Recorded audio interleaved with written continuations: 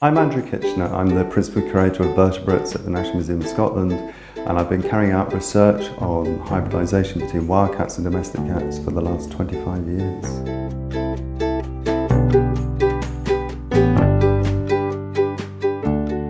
Well, the biggest threat to the survival of the, of the wildcat today is hybridisation with domestic cats and also hybrid cats. The wildcat population is now so small that eventually it will disappear through genetic introgression from the domestic cat population and soon we'll have none left.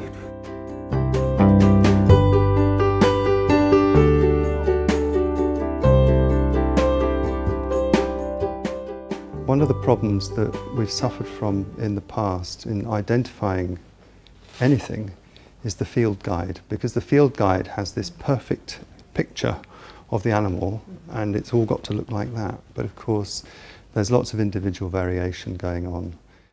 Now, for any species, there will be diagnostic characters and there will be variable characters. And so it's recognizing what is individual variation and recognizing which is diagnostic characters which the, which the individual must have in order to identify as that particular species. And then when you come to hybridization, of course, it becomes utterly confusing.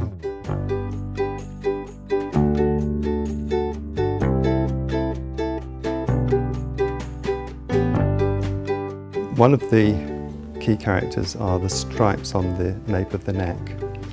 And if you notice, they're quite broad, and it's almost like somebody's got their fingers and gone like that. They also have two shoulder stripes, and if you notice actually one shoulder stripe here is quite prominent. The other one is there, but it's a lot thinner, so there's even some variation within some of these characters. Then we have the dorsal stripe, which runs from the sort of middle of the back right down to the root of the tail. The tail, of course, traditionally has this um, broad shape with a blunt end with a black tip, and it has these complete rings around it. but in no case do you get this dorsal stripe going onto the tail and joining the rings together.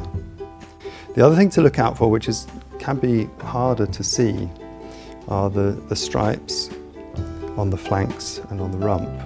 And you can see the stripes are quite subtle, but they're more or less continuous. Sometimes they break up, but what you don't find is lots of spots.